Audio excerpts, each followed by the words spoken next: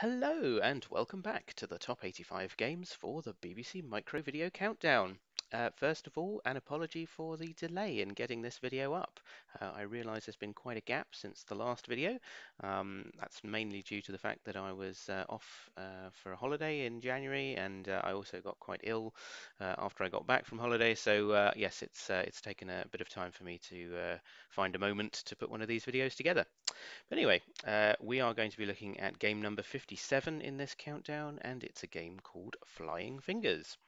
Now, uh, this was an educational game that came on a cover disc uh, from the Micro User magazine, um, volume 4, number 11, back in January 1987. And uh, yes, it was a game designed to uh, help people improve their typing skills.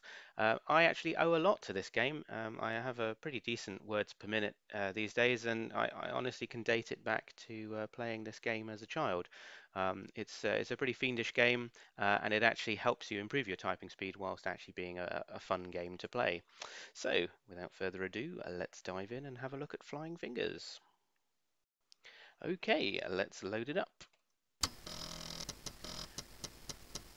And as we shall see, uh, the micro user uh, magazine splash screen there, so volume 4, number 11. Interestingly, Flying Fingers wasn't featured on the cover of the magazine, as you will have seen in the previous screenshot, but there it is. Uh, it obviously came on uh, page number 71 in the magazine. So we shall select that and continue. Here we are. Uh, so there you go, uh, written by Ray Smit and um, you can either just dive in or you can set the difficulty level depending on how confident you're feeling but uh, I'm going to approach this as if I'm a beginner and we'll just see how far we can get with flying fingers. So it's uh, a game that I believe was actually coded in uh, BBC Basic, so no uh, no assembly code here to sort of speed up the rendering of the screen, hence the uh, slight delay on getting the screen loaded there. But uh, no no no fear. So here we are. Here's Flying Fingers. So my first word is air. Um, you can see our laser beam there in the middle of the screen at the moment and as you can appreciate the uh, the words are pretty simple so uh, not a major challenge at the moment. Um, that energy bar, the red energy bar at the bottom, um, that basically is uh, your lifeline so if you let a word hit the laser beam that obviously reduces the energy um, by a fraction based on the number of letters of the words. Obviously the longer the word um, the more energy you use up. Um, now you might be thinking at the moment, well, this isn't much of a challenge. These words are fairly simple, but uh, it does fairly quickly get quite uh, quite challenging. So uh, there you go. So that, that siren indicates that I've passed the first level. So you will notice that the uh, the laser beam has now moved slightly further to the right. Um, and uh, the speed of the words coming is ever so slightly increased, although it's not quite so obvious at this early stage. But um, we will fairly quickly start to see that the game gets harder and harder. Now, also you have to appreciate that uh, you know this game would have been written largely with uh, children in mind in terms of improving typing speed. So, you know, I, I, think I started playing this when I can't have been much older than about five years old, and uh, certainly then my my typing was nothing to write home about. Um, but uh, a game like this was, you know, it sort of turned the uh, the ability of typing fast into its own challenge, as as the word said there. You can see that the words are indeed starting to get a bit longer. Um, so we've got uh, slightly uh, slightly longer words here. You don't get any penalty for hitting the wrong character, the wrong letters. So if I, if I you know if I type the wrong letter in, in amongst uh, the the letters that I'm trying to fill in, it doesn't uh, doesn't penalise me for that. But uh, you do have to get them all in sequence, um, which can be a bit of a problem if the word starts to go into the laser beam because it becomes quite difficult to remember the point at which you'd got to uh, correctly um, before it started getting uh, disintegrated by the uh, laser beam there.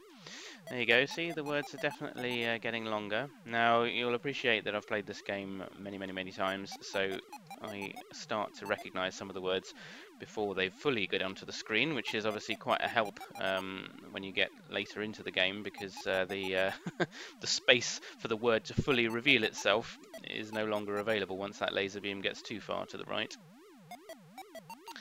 Um, I don't know exactly how many different words uh, there are in, in the game. I mean, it, it, has a fairly uh, repetitive vocabulary, so you do see the same words cropping up um, quite a lot. Um, I think sometimes it also gets stuck in a bit of. Oh, they're, they're getting quite a lot faster now. Uh, it does sometimes get stuck in a bit of a glitch, uh, and you, you get the same word coming over and over. In fact, I think I've had evaluation just constantly come again and again and again. Here we go. Um, actually, making this video is adding an additional challenge for me because I've got to uh, multitask uh, providing this commentary and typing at the same time, uh, which actually is a little bit more difficult than uh, just playing the game in uh, pure silence as I would normally do. Um, yes, they had uh, they had a copy of this game at my school. I think that's where I first started playing it, and then as was often the case with uh, games that uh, were at school, my dad uh, kindly made a copy of it, and we had it at home as well. Um, but yes, it came on a cover disc, so obviously it wasn't uh, wasn't something you could just go out and buy. Um, I should also give. Oh, oh my goodness, that's a quite a quite an apt word. Desperately there. Uh, oh, hang on. I should give a shout out to Bill and Lee on the uh, Stardot forums for helping me track down this game. Um, I, uh, I had a, a, bit of a hard time finding it because it didn't show up as Flying Fingers on the complete BBC Micro Games archive. Um, partly because it's uh, obviously you know nested inside a, a cover disc um, and not not released in its own right as a as a, as a, as a you know a published game. So thank you, Bill and Lee, for pointing me in the right direction. Um, advertisement. There we go. Uh, now, I, you're probably thinking, oh, you should probably just let one of these hit the uh, laser beam just so you can see what happens, but uh, fear not, we will reach a point where I don't have to uh, do that without meaning to. Um, oh, oh, there we go. So find the keys on my laptop are actually not quite as responsive as the sturdy old keys on my uh, my original BBC Micro Model B. Um, you really knew that you were pressing a key on one of those, um, whereas these sort of slightly soft keyboards that you get on uh, laptops are uh, a bit, bit, different in terms of their response. Um, to say the sound of the laser beam does get a little bit annoying after a while. I mean, it's just this constant monotonous sound of uh, laser. Ooh, efficiently, there we go. Comprehend Oh no! Ah! so you see, the problem once that happens is it's almost impossible to uh, type the remaining characters because the game expects them in sequence. So just typing the letters that you can see um, after some of them have been eaten up by the laser beam won't work. Uh, oh, dodecahedral. My goodness. Investigator. Disassemble. Oh my, that's a very technical word. Respectively. Um, oh, and again. Yeah, so it's obviously got a. Oh, uh, I thought I was done for there. Dodeca. Yes, once you start to recognise the words, obviously it definitely helps you at this point in the game because otherwise uh, you uh, you can't see the word before it's sort of made its way on. Oh wow, is it going to move again? Gosh, it is. Well, I really haven't got a lot of space to maneuver here. Uh, approximate, there we go, respectively.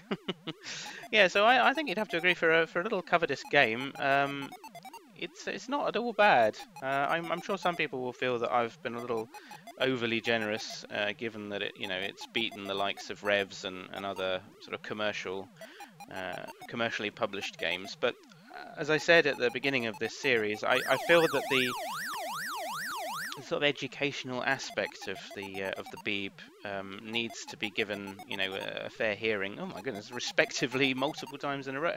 Oh, that's all I'm getting now, respectively. Wow. I think it's hit the. Uh, I think it's hit. I think it's hit the glitch. That really is it. It's just just respectively all the way down now. Uh, well, that oh, it kind of makes it unfair, uh, or rather, I mean, too too easy for me if it's just going to give me the same word every time. Because oh, I was going to say because I'll be able to type it almost before it turns up.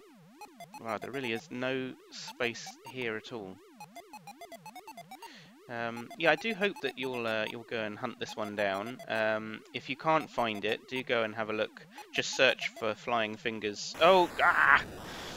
Just go and search for Flying Fingers on the Stardot forum. Oh dear. uh, and you'll find the uh, the forum post uh, that I wrote actually asking for help in uh, tracking the, the game down. And uh, you'll you'll find oh my goodness you'll you'll find a download link uh, to oh no that's it to get hold of the game. Um, well, there you go, game over. I got up to level 12 there with a score of 11,870. So uh, that's not not too shabby. Um, yes, yeah, so I think the fact that it hit the glitch there at the end and just kept repeating the word respectively over and over again slightly took away the uh, the challenge of the game. But uh, here you go, you can't uh, you can't have everything from what is effectively a, a cover disc game at the end of the day. But yes, that's Flying Fingers. Um, hope you've enjoyed that video. And again, apologies once again for uh, the delay in, in getting the video online. Uh, hopefully I'll be able to follow up with the next video in the series uh, without uh, nearly two months elapsing in between. Uh, but until then, um, I uh, thank you for watching and hopefully see you next time. Goodbye.